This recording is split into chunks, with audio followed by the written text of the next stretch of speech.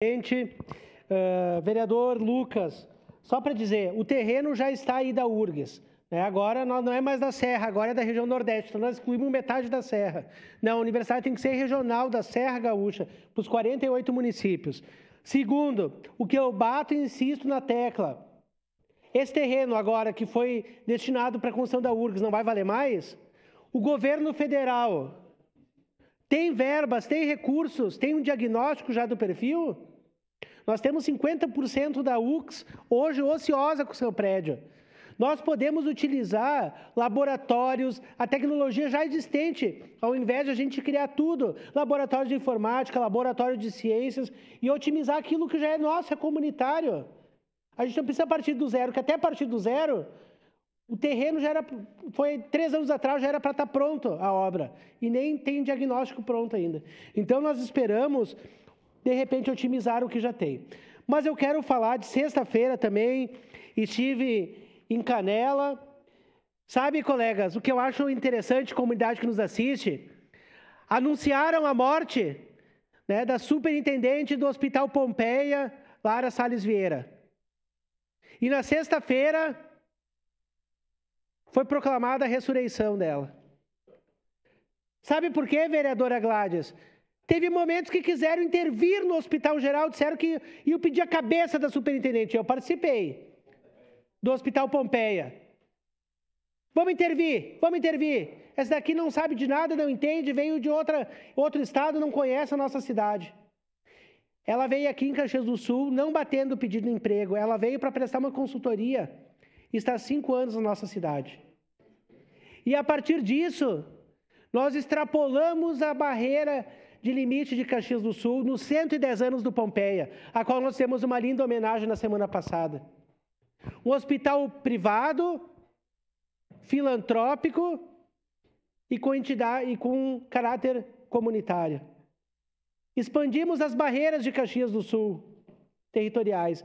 E agora, no futuro breve, o símbolo, o logo do Hospital Pompeia estará em Canela. Um novo complexo com investimento, investimento de mais de 200 milhões de reais. O Pompeia Ecossistema de Saúde Prime, como será chamado o novo hospital, terá 15,6 mil metros quadrados, num total de terreno de 173 mil metros. O diretor-geral da Nova Alternativa, o Fernando Bassani, um visionário, qual tive a oportunidade de conversar muito com ele nesta oportunidade.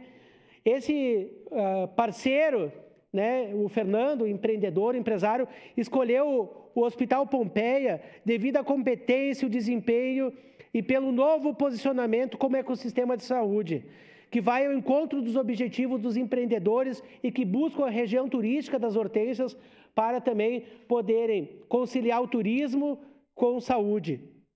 Além disso, o reconhecimento internacional do Pompeia Ecosistema em Saúde como o melhor hospital da Serra Gaúcha, as inúmeras certificações que atestam a excelência em atendimento e também dos profissionais e principalmente os investimentos em alta tecnologia. Nós teremos agora com a ampliação dos 14 andares do Hospital uh, Geral, do Hospital Pompeia, que até o final do ano entregaremos parte, equipamentos que não tem na América.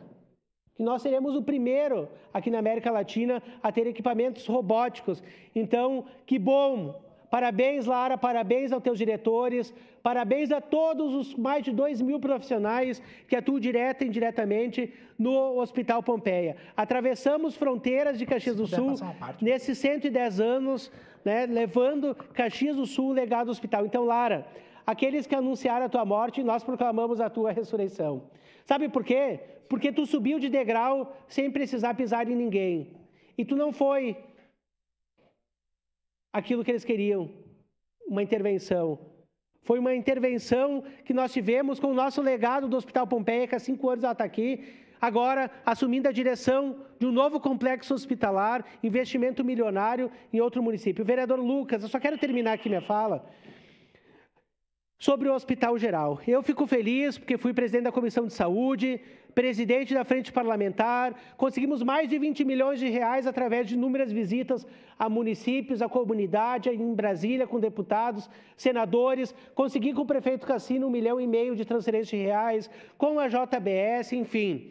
Ontem foi início da realização de um sonho, mas não completo, vereador Cadore. São 55 leitos, não são 70 leitos, porque esse recurso já era recebido pelo hospital. Esses 15 leitos já estavam habilitados. Nós precisamos continuar aquilo que tinha, mas chegar aos 118 leitos, que de fato nós sempre lutamos para isso, 118 leitos para o Hospital Geral. E isso através do vereador Menegus, que iniciou requerimentos, e o vereador Bressan, a CPI da Saúde investigará com lupa. Obrigado, presidente.